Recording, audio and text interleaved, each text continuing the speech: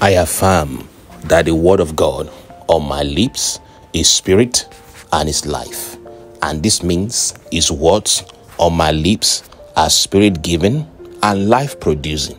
The life giver has tabernacled upon my spirit, upon my soul, and upon my body in the name of Jesus. And he has anointed me to live the higher life. In the name of Jesus, I am anointed to live the higher life. In the name of Jesus, I soar up in life and the mystery of the kingdom are revealed to me today. I affirm that I am alive with the life of God and anything not producing life is dissolved completely from my life in the name of Jesus. Hallelujah.